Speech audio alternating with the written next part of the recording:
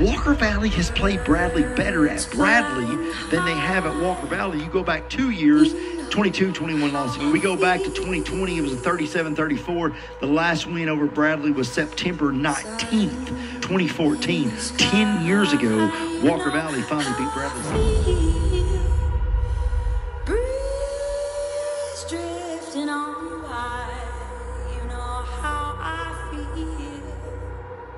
It's a new dawn, it's a new day, it's a new life for me, yeah. and I'm feeling good.